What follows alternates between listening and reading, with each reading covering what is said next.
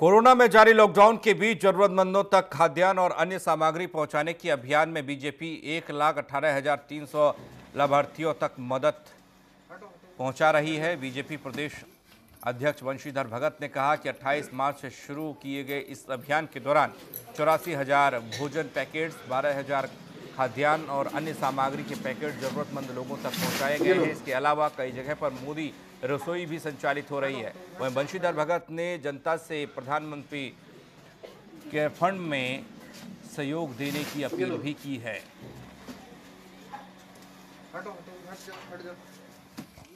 हमारे राष्ट्रीय अध्यक्ष जी ने, माननीय प्रधानमंत्री जी ने, कोरोना से निपटने के लिए, आर्थिक संकट को दूर करने के लिए भी सभी कार्यकर्ताओं से निवेदन किया है।